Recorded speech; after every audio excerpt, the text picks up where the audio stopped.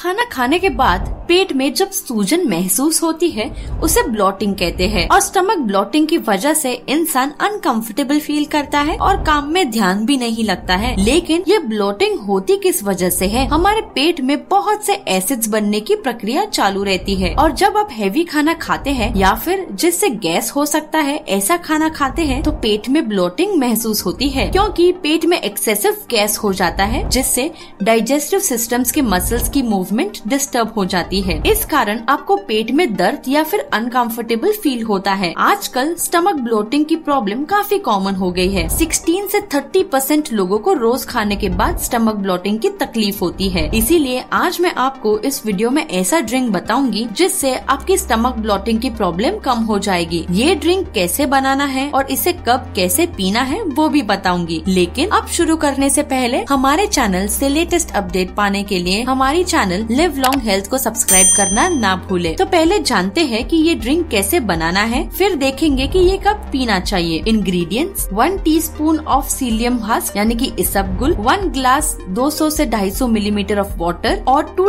tablespoon of apple cider vinegar अब देखते हैं कि इसे बनाना कैसे है। एक ग्लास पानी में इसबगुल मिक्स करें और उसमें दो tablespoon apple cider vinegar add करें। अगर आपको विनेगर की टेस्ट बहुत ज़्यादा लग रही है तो वन टेबल स्पून ही ऐड करें। उसके बाद सब अच्छे से मिक्स कर ले और हो गया आपका ड्रिंक रेडी ये ड्रिंक आपको ब्रेकफास्ट लंच और डिनर से 20 या 30 मिनट पहले पीना है। और इस बात को ध्यान में रखें कि apple cider vinegar mother culture वाला यूज़ करें, क्योंकि मदर कल्चर विनेगर में जो बैक्टीरिया होते हैं, वो सिंपल विनेगर में नहीं मिलेंगे। और ये बैक्टीरिया आपकी डाइजेस्टिव सिस्टम के लिए काफ़ी अच्छे होते हैं। कि अब देखते हैं कि ये ड्रिंक काम कैसे करता है, जिससे आपकी ब्लॉटिंग ठीक हो जाएगी। ये ड्रिंक आपके पेट में थोड़े और एसिड सिक्रिएट करता है, लेकिन ये एसिड्स आप जो खाना खाते हैं, उसमें से प्रोटीन्स और बैक्टीरिया को तोड़ने में मदद करता है। इससे आपका खाना अच्छे से डाइजेस्ट होगा और पेट में गैस होने की परेशानी से राहत मिलेगी। अगर आप ये ड्रिंक दिन में दो बार पियेंगे तो एक बार उसमें दालचीनी की पाउडर डालें। इससे खाने के बाद ब्लड शुगर बढ़ने की प्रॉब्लम होती है, वो नहीं होगी। ब्लॉटिंग से राहत मिलने के लिए ये ड्रिंक दो तीन वीक तक रोज पिए। और ये भी चांसेस है कि ये ड्रिंक सबको सूट नहीं करेगा तो वो काफ़ी नॉर्मल बात है। जिनको स्टमक